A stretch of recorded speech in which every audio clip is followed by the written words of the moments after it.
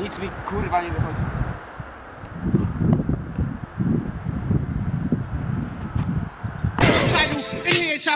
Hey yo, I could have been out. I'm down.